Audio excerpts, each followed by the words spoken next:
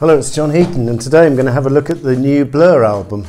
Uh, but before I get started, just a couple of things. One, very sorry to hear about the death of Sinead O'Connor, a big talent. I don't have many of her albums, but I admire her as a protest singer and a, a spokesman and someone who's willing to speak up for her views. So it's very sad to to hear of her death at aged only 56.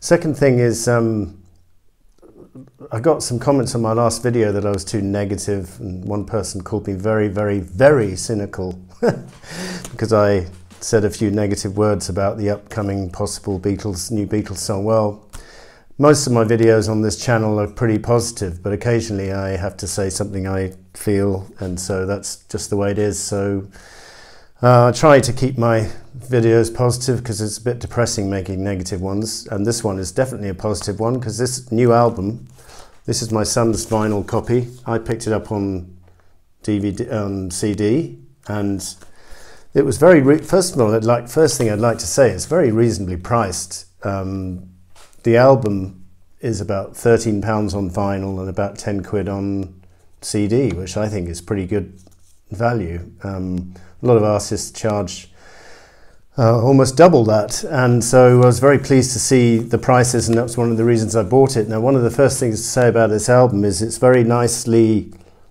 uh, paced and it flows very well, and it's a good length, in my opinion, for an album 36 minutes, 4 seconds at the standard album.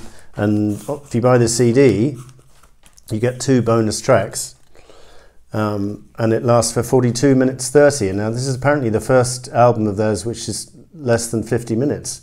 So basically, what was happening in their previous albums is they were releasing near, near as damn it a double album every time.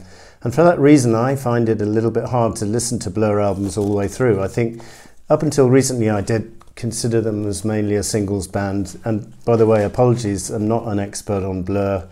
And sorry, I don't want to upset any Blur fans out there. I have a lot of respect for them. I've got about, I think this is the seventh CD of theirs I've picked up. Don't have all of them, but uh, I love their early stuff and I admire the way they've come back.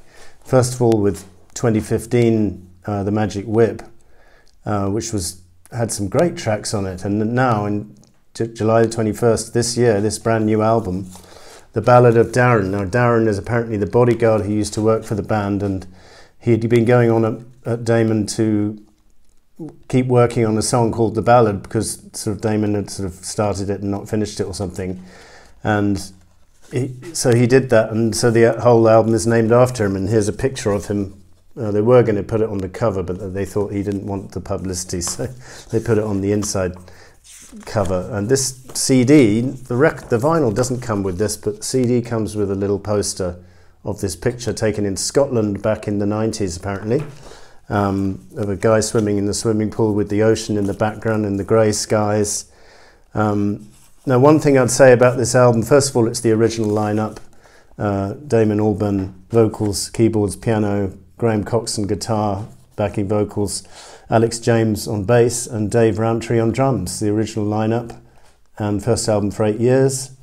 Um, interesting, the Alex Alex James, the bass player, is uh, was reading as a food writer for the Sun newspaper, and also makes cheese, which was I thought was an interesting uh, thing for a rock star to go and do. Um, uh, so what, one thing I'll say about this album is it, it's just beautiful. I mean, it's more concentrating on ballads versus up, up tempo numbers. Starts off with the song, the ballad, and uh, a lot of the tracks are similar in that respect. But I think it's one of these albums which grows on one, and I've played it three or three and a half times. If you count the time in the garden on the JBL, then it's four times. Uh, um, twice I was listening to it intently, and the other times were, is, was more in the background. But uh, yeah, I would say my highlights on the album are the, the opening track, the ballad. Although you could argue it's not the best choice of opener, um, but it's a great song, great melody.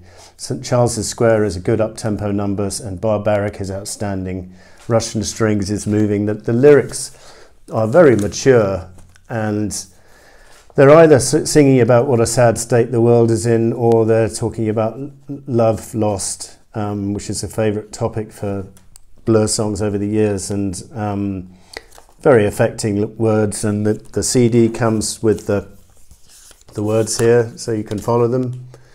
Uh, I'm just trying to think if the uh, if the album comes with the words as well. Yeah, it, it does. Yeah, they're in quite small print, but they're there, um, so you can follow them there. Um, so I think the album's more concentrating on on ballads than up tempo numbers, but as I say, the melodies are beautiful. Damon is singing very well. Uh, the melodies are good. The musicianship is top notch as it always is on a Blur album. I was just looking at some recent set lists that the band did. A friend of mine, Tim, saw them at Wembley earlier in July, and they did a kind of almost like a greatest hit set. But I was reading they they did a concert somewhere in London on the 25th of July where they featured the whole of this new album from start to finish, and then encored with six other songs which were not well known particularly. I mean, there's one uh, Pyongyang from The Magic Whip, Clover over Dover from Parklife, Mr. Briggs, is sort of on the, the, There Is No Other Way single, All Your Life is an outtake from the 97 Blur album, theme from an imaginary film, outtake from the Parklife sessions, the Universal is from The Great Escape. So none of their biggest hits on that particular concert, but I think in general they've been doing a kind of mixture of the old and new. But I always admire it when bands play a new album from start to finish.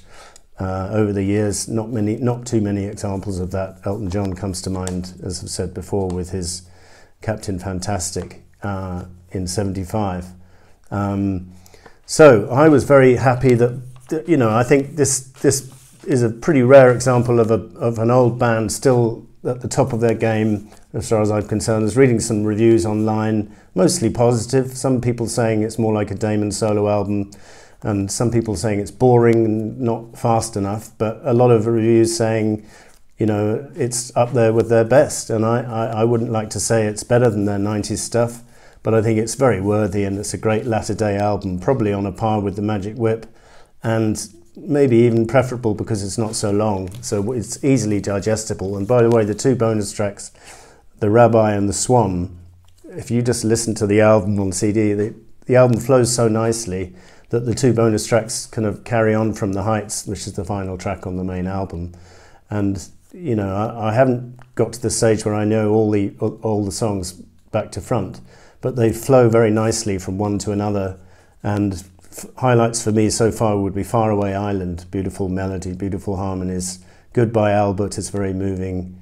Uh, I like the Everglades, I like the Heights, and I like the bonus tracks. In fact, I like all. There's not a weak track on the album for me, and I think it's one of those which was repays repeated listenings.